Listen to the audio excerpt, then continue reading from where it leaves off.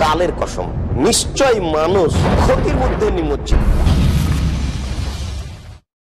India থেকে S K Nasir প্রশ্ন করেছেন, ঈদের সালাতের জন্য ঈদের মাঠে মহিলাদের কোনো ব্যবস্থা নেই।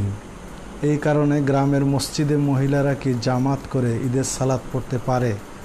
আর সেটার ইমাম কে হবে? পুরুষ না মহিলা? দলিল সহ জানালে উপকৃত হতাম।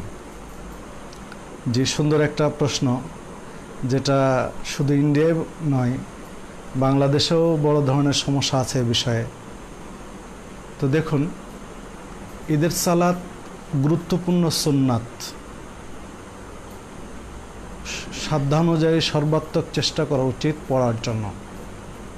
তবে রসল্লাহ সাল্লাহ আলহি আসাল্লাম এই সুন্নাতটি পুরুষ মহিলা একসাথে আদায় করেছেন এক জামাতে।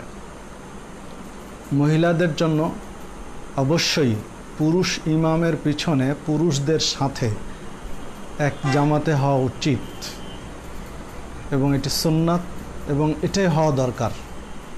যারা ঈদ কর্তৃপক্ষ বা দায়িত্বশীল তাদের এই বিষয়ে সচেতন হওয়া প্রয়োজন, সজাগ হওয়া দরকার।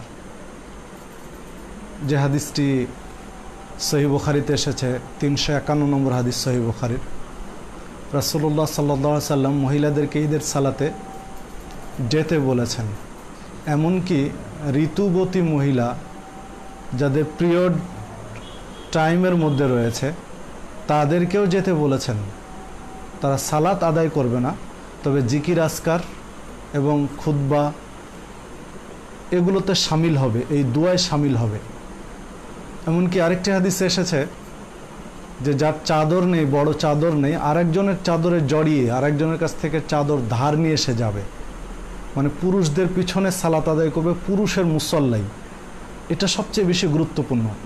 হ্যাঁ যদি পুরুষদের পিছনে পুরুষদের মুসল্লাই মহিলাদের ব্যবস্থা কর্তৃপক্ষ না করেন যে কোনো কারণে, তাহলে মহিলারা আলাদা জামাত করে সালাত আদায় করতে পারবেন।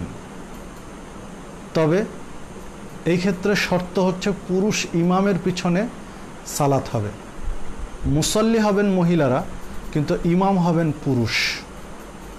সহি বুখারিতে একটি হাদিস এসেছে, নয়শো সাতাশি সাতাশি নম্বর হাদিস সহি বুখারির। আনস রদি আল্লাহ আনহু একজন সাহাবিকে বলেছিলেন বা আরেকটি হাদিসে উল্লেখ রয়েছে রসল্লাহ সাল্লাহ সাল্লাম এর সময়ে একজন সাহাবি তার পরিবারকে নিয়ে ঈদের সালাত আদায় করতে পারেননি। তখন তাদেরকে বলা হয়েছিল যে, তোমরা তোমাদের বাড়িতে পরিবার নিয়ে সালাত আদায় করে নাও। পুরুষ, মহিলা যে পরিবারের সদস্য যারা রয়েছে তাদেরকে নিয়ে সালাত আদায় করে নাও, এই নির্দেশ দেওয়া হয়েছিল সাহাবিকে। তাহলে মহিলাদেরকে পিছনে রেখে বাড়িতে সালাত আদায় করেছেন সঙ্গত কারণে। তো যেহেতু পুরুষের মুসল্লাই ব্যবস্থা নেই, এটা একটা কারণ। তো এই কারণে একজন পুরুষ ইমামের পিছনে মহিলারা সালাত আদায় করতে পারে, সেটা মসজিদে হতে পারে অথবা খোলা কোনো বড় জায়গায় হতে পারে, যেখানে নিরাপদ জায়গা হবে। কারও বাড়ির উঠানে হতে পারে। তো একটা সুন্দর নিরাপদ জায়গাতে মহিলাদের জামাত করে সালাত আদায় করার সুযোগ আছে যদি পুরুষ ইমামের পেছনে না থাকে, ব্যবস্থা না থাকে। তবে ইমাম হবেন পুরুষ। এই ক্ষেত্রে এই ফিতনার যুগে যেটা যৌক্তিক বিশ্লেষণ হতে পারে, সেটি হলো একটা পর্দার মাধ্যমে পুরুষ এবং মহিলার মধ্যে একটা ডিভাইডেড করে দেওয়া। একটা মাঝখানে পর্দা দিয়ে ডিভাইডেড করে দেওয়া, করে দিতে হবে। ইমাম আলাদা থাকবে, মহিলার মুসল্লির আলাদা থাকবে। উল্লেখ্য যে, ঈদের সালাত এবং জুমার সালাত মহিলাদের ইমামতিতে পড়ার কোনো বিধান নেই। কোরআন অথবা সহিসন্যায় কোনো প্রমাণ নেই, কোনো দলিল নেই। এই জন্য ঈদের সালাত এবং জুমার সালাত মহিলাদের ইমামতিতে করা বৈধ নয় শরীয়ত সম্মত নয়। এমনি অক্তিয়া সালাদগুলো বা নফল সালাদগুলো সেগুলো মহিলার ইমামতিতে হতে পারে। জুমা এবং ঈদ, এখানে একটা যৌক্তিক কারণ হলো জুমা এবং ঈদ খুদ্া রয়েছে। আর এই খুদ্া মহিলারা দিতে পারে না এই সালাতের।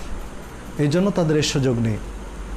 তো আমরা বিষয়টি খেয়াল করব, যারা ঈদের কর্তৃপক্ষ বিভিন্ন জায়গায় দায়িত্ব পালন করে, তাদের দৃষ্টি আকর্ষণ করব যে বিষয়গুলো আপনারা খেয়াল করবেন। এবং প্রত্যেকটা মুসল্লাই মহিলাদের ব্যবস্থা করবেন বলে আমরা আশা করি এবং আপনাদেরকে সচেতন হওয়ার জন্য অনুরোধ জানাব। আল্লাহ রবুল্লা আলমিন সে তৌফিক দান করুন।